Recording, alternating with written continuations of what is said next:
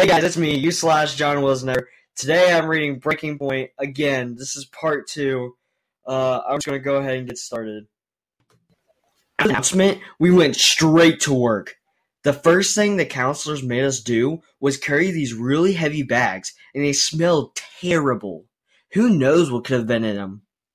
After that, we had to transport the same stuff that Rowley showed me to these trucks. I hope they die playing with them. Soon after that long day of work, we had to go to bed. At least we even had beds. Later that night, I was jolted awake. I didn't know what kind of dream I had, but I did know that it was a nightmare. I hope I get out of this place soon. Wednesday. Today, we did the same things we did yesterday. It was really boring, but one thing that caught my attention was that some kids went on the bus and left. I was really confused, so I asked some of the kids who were next to me what was going on. So one of them told me if the kids here didn't work as hard enough, the counselors will send them to slaughterhouses. I asked them if there was some way we could escape and get out of here, but he said that the only way out is running through the woods until we find civilization. But that's highly unlikely. One other kid started speaking up, and he said that there is another way out, and it's ending our lives the idea, so I just walked away. I'm just surprised I haven't died yet. At lunch today, if you can even call it lunch, the cafeteria people served us kids this weird looking slop. I didn't even know what it was. I even heard one kid died from it. Maybe the counselors are trying to kill us. July. Tuesday. It's been a few days since I last wrote in this.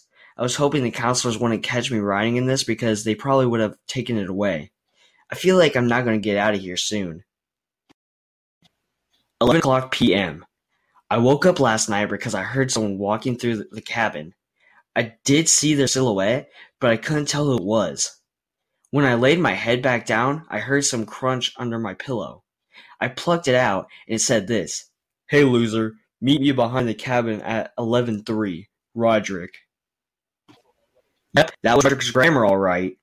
I didn't have time to stand around for three minutes, so I just got up and went around the cabin, and I saw Roderick and his van. I completely forgot about it until now. Same with Roderick. Come on, we're leaving. Once Roderick and I got in and started the engine, I asked him why he didn't do this in the first place. So he said that when he was finding a place to put his car, he accidentally drove over a kid and it somehow messed up his car. So basically, we were stranded until he fixed it, and he did.